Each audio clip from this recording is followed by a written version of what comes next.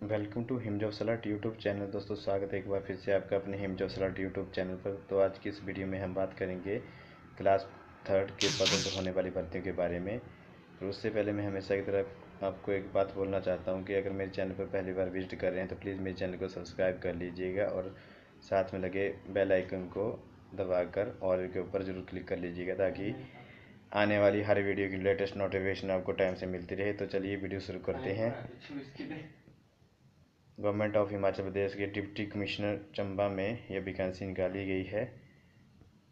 Post का नाम रहेगा ड्राइवर और क्लास थर्ड की नॉन गेस्टेड के लिए यहाँ पे पोस्ट निकाली गई है। डेली बेसिस पे आपको यहाँ पे तीन सौ छत्तीस पर डे आपको यहाँ मिलेगा।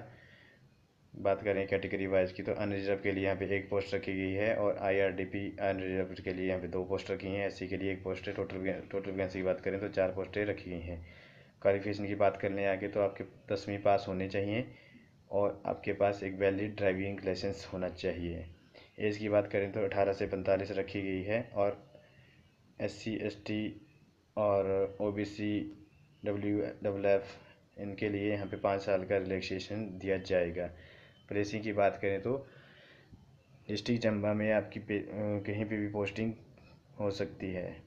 डिटेल में यहाँ पे पढ़ने के लिए आप वीडियो के डिस्क्रिप्शन में जो लिंक दिया जाएगा उसको जाकर डाउनलोड कर लीजिएगा और डिटेल में यहाँ पे मोड ऑफ़ सिलेक्शन के पढ़ सकते हैं।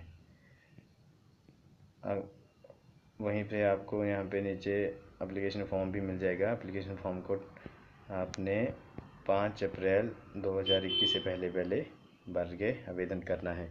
डिटेल में जानकारी के लिए डाउन एप्लीकेशन ऑफिशियल नोटिफिकेशन को डाउनलोड कर लीजिएगा।